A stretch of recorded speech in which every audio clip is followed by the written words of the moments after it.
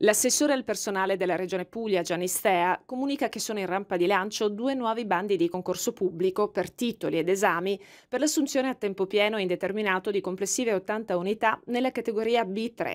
Si tratta di 60 collaboratori tecnico-amministrativi e 20 autisti specializzati. L'assessorato al personale ha ultimato le procedure concorsuali a tempo di record, ha precisato Stea, e le candidature potranno essere presentate sul portale Step One 2019 a partire dal prossimo 30 marzo.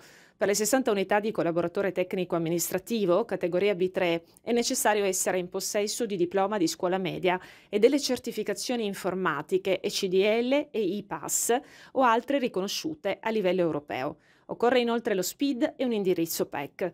Per i 20 autisti specializzati necessari il diploma di scuola media, patente C, SPID e PEC.